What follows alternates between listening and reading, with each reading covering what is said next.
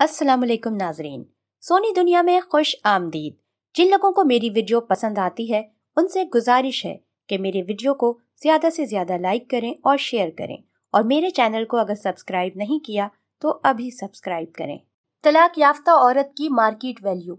एक साहब फरमा रहे थे कि तलाक की सूरत में लड़की अपनी जवानी का हुस्न और चेहरे की रौनक गंवा चुकी होती है, जिसके सबब उसे पहले जैसे स्टैंडर्ड का शौहर दूसरी शादी के लिए दस्तियाब नहीं होता। और चूँकि दूसरी शादी के वक्त मर्द पहली शादी के मुकाबले में ज़्यादा कमा रहा होता है तो बावजूद इसके कि वो मोटा और गंजा हो चुका होता है, उसे ज़्यादा हसीन और जवान बीवी दस्तियाब हो जाती है।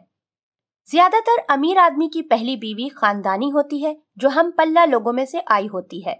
उसमें तमीज व तहजीब होती है पहली बीवी की चमक दमक मान पड़ जाने पर जो नई दुल्हन आती है, वो किसी गरीब घर की होती है। न उसमें वो तौर तरीके होते हैं, न इखलाकियात, न ही वैसी तालीम तरबियत इस सूरत हाल का हल यही है कि औरतें भी बरसरे रोज़गार रहें।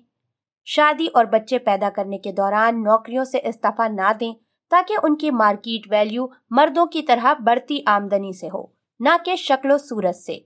क्योंकि किरदार की तो यहाँ किसी को पड़ी ही नहीं है। आपने देखी तो होंगी, अमीर खातन जो अपने से छोटी उम्र के मर्दों से दूसरी या तीसरी शादी कर लेती हैं। आपने देखा ही होगा, इसी तरह ग्रीन कार्ड की खातिर गैर शादीशुदा नौजवान लड़कों को मोटी, बेवा और उम्र में बड़ी खातन से शादी करते हुए। तो समझ जाइए कि असल मामला क्या है और मोहब्बत व वफा किस शय का नाम है।